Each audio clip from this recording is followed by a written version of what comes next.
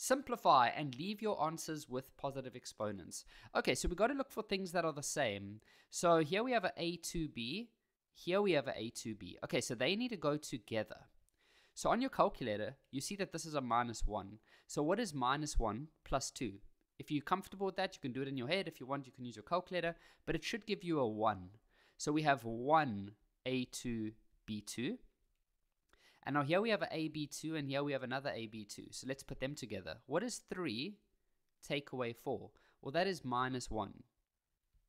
And there we go. Now remember, when the, the number in the front is a 1, you don't have to put the 1 there. So the answer would most likely be written as that. If you leave the 1 there, it's not wrong, but most teachers will do it like that. And if you are a student that started trying to see what you could take out, or you're trying to see what you can take out, remember that's not simplifying, that's factorizing. This question specifically said simplify.